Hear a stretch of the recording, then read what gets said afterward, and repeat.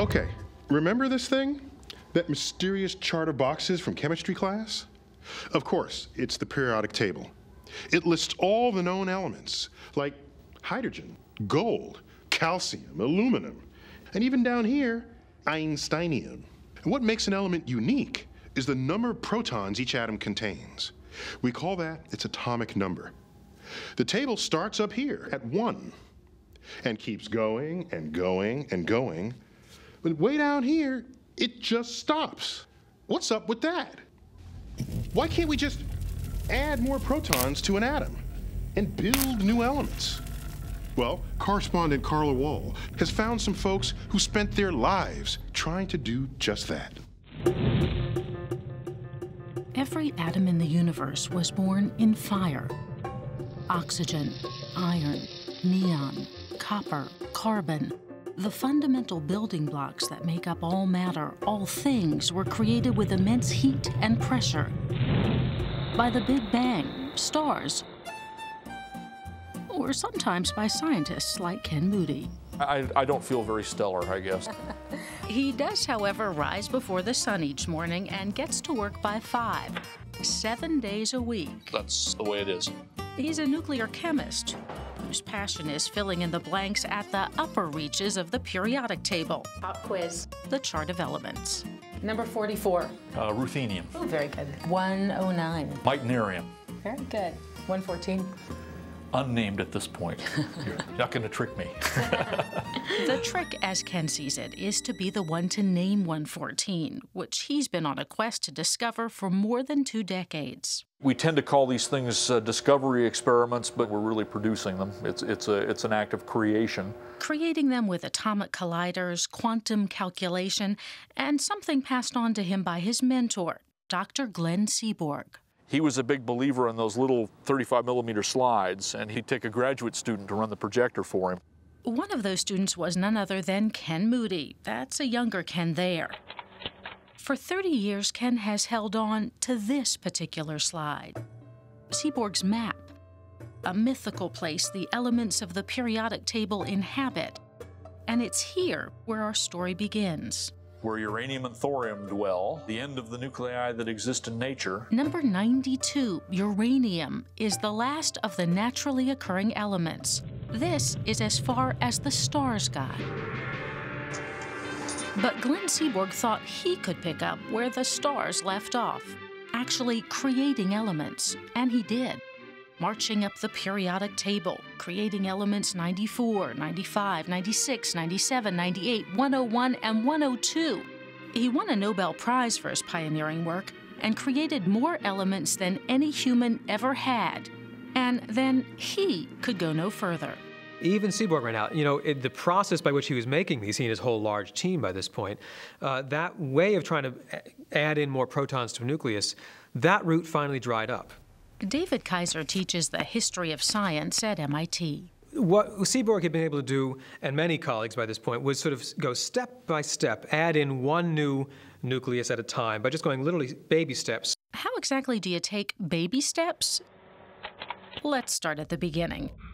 We'll take a trip and fly into an atom, past the electrons into the nucleus. In a science where you never see what you're working with, a lot is left to the imagination. So, first, let's meet some protons. For our purposes, represented by these guys. all positively charged, and we all remember from science class in high school that two positive charges repel one another. With this repulsion, how do any of the elements stay together? The protons feel a different sort of force as well at the same time. It's a different origin, a different type of force between them, and that's a specifically nuclear force. It's called the strong force. We'll show this as a bungee cord. And that really is how this force behaves. If they try to pull apart, it'll pull them back together. It's an attractive, coming together sort of force. But like a bungee cord, it only works over a certain distance. If you try to stretch it too far, that cord will break. That repulsive force wins. And that's where this guy comes in. Hello. He is a neutron. I went to school with an awful lot of neutrons. This is a fellow who comes equipped with bungee cords like the proton. But unlike the proton, he has no charge, no inclination to push anything away. He just sort of sits there, neutrally. His bungee cord does the work. So, throw him in between a pair of struggling protons, hook up his bungee too, the neutron provides some remediation of the hostility of the protons and uh, they can survive. Up to a point. By the time he got to element 102 with 102 protons in the nucleus, Seaborg began having problems. Even if you add in more bungees, they might keep this cluster together here, they might keep that cluster together there, but keeping the whole big thing together, that no longer is going to work. The pushing away force starts to win. And there was another problem. Seaborg found the more protons he added, the shorter the atom survived. From billions of years down to thousands, days, hours, minutes. Even much less. Sometimes thousandths of a second. If you're lucky, often it's millionths of a second. So these things will fall apart literally in less than a blink of an eye. Seaborg came to see himself surrounded by a cruel and inhospitable ocean that tore his atoms apart. He called it a sea of instability. The sea that they didn't know if they could cross or not. That's what was inspiring and really teasing or, or, pushing Seaborg and, in fact, many of his students and colleagues to see could they go beyond this end of the known world? Could they go beyond where this peninsula seemed to stop? Then, in the mid 1950s, theorists presented a radical new concept of the nucleus. There became lots of evidence to show there's a tremendous amount of very stringent, strict ordering that goes on inside the nucleus. We're used to looking at diagrams where the nucleus is shown as a little ball with a plus sign in it and the electrons travel in rings which are which are well-defined orbits. The nucleus is the same way. The protons and the neutrons can be treated as forming structures. You can think of it as rings. And so in fact there are these configurations where the protons can line up in a special way in these sort of ring structures that will give an, a, a greater degree of stability to the nucleus as a whole than if there had been in some other random or messed up order. And same thing happens with the neutrons. Just like the electrons that orbit the nucleus, the stability of the nucleus depends on how full these rings are.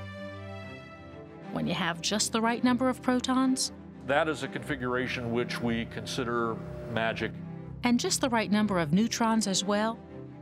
That's called doubly magic. So, what's so magical about that? These magical numbers of protons or neutrons are such that you have the maximum stability.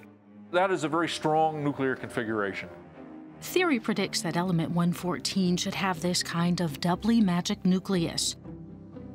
So it should be, despite its tremendous size, incredibly stable.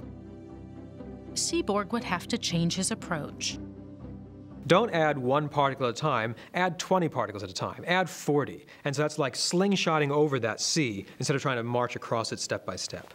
And Glenn saw this as a giant leap across a sea of instability of things that you couldn't make to an island sticking up out here. An island of stability. So that was what was motivating Seaborg. Could you jump this inhospitable sea to get to this, what he hoped would be a magic island, an island of stability? Way up here, where you have all the way up to 114 protons and 184 neutrons. That was the next spot they thought where you'd have this sort of magic stability, both a filled ring of protons and, crucially, a filled ring of neutrons. Where these huge atoms might last long enough to hold in your hand, to look at, something new in the universe. How badly did he want to get to the island of stability? He, he wanted it bad. He really did. Uh, and tried for 30 years? Yes, basically, yes. We all thought that if he could discover super heavy elements, that we, we could get him a second Nobel Prize. So, how would Ken realize this dream and leap to element 114? Well, plutonium has 94 protons, calcium has 20 protons. Add them together and voila, 114. But how exactly do you add atoms together? You have to accelerate them at one another very, very fast. So you're throwing them at each other. Throwing them at each other. You can almost think of it as uh, bowling. Each calcium ion is a, is a bowling ball, and as the calcium approaches the target, it sees a, a set of plutonium pins, and there are an awful lot of gutter balls. Uh, the calcium just misses the, the pins completely we will put somewhere between 10 to the 18th and 10 to the 19th balls through a target. 10 billion billion.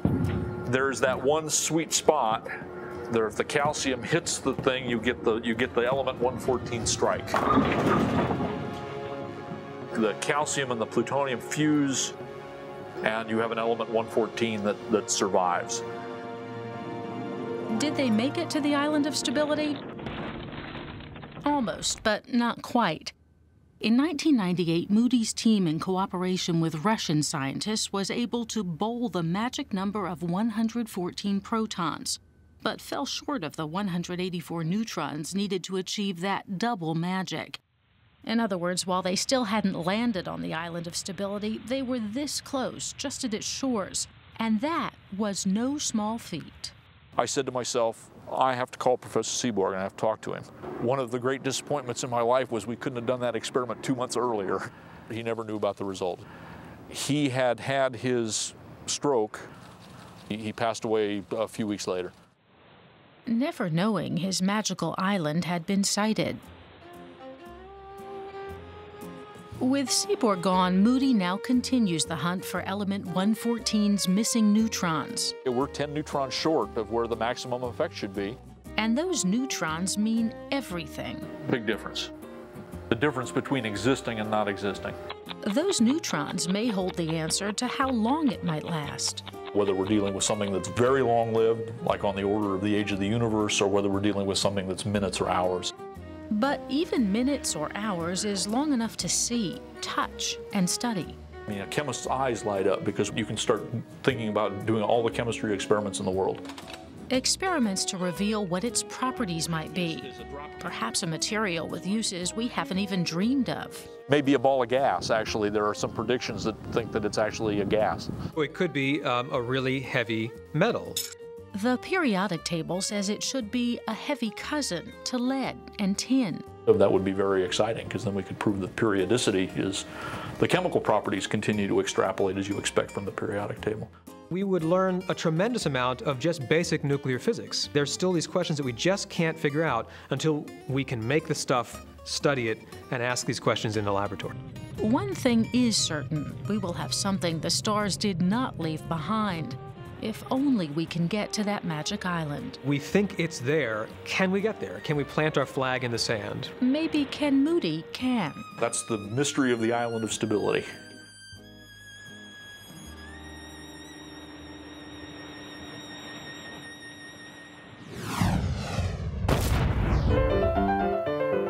Sulfur, californium, and fermium, berkelium, and also mendelevium, einsteinium, nobelium, and argon, krypton, neon, radon, xenon, zinc, and rhodium, and chlorine, carbon, cobalt, copper, tungsten, tin, and sodium.